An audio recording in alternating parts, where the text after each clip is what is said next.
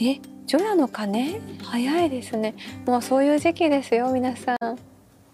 ええ年終わりですよ。いや私毎月この時期思ってるんです。あ今月早かったなって思うんですけど気づいたら年の瀬なんですけど。早くないですか？こうやって年を重ねるんですね。しみじみ。思います。でも私悔いはないです自分の好きなことをねやってるのでもう自分らしく生きようって決めた今年でした。108の煩悩。108の煩悩鳴ってますか今？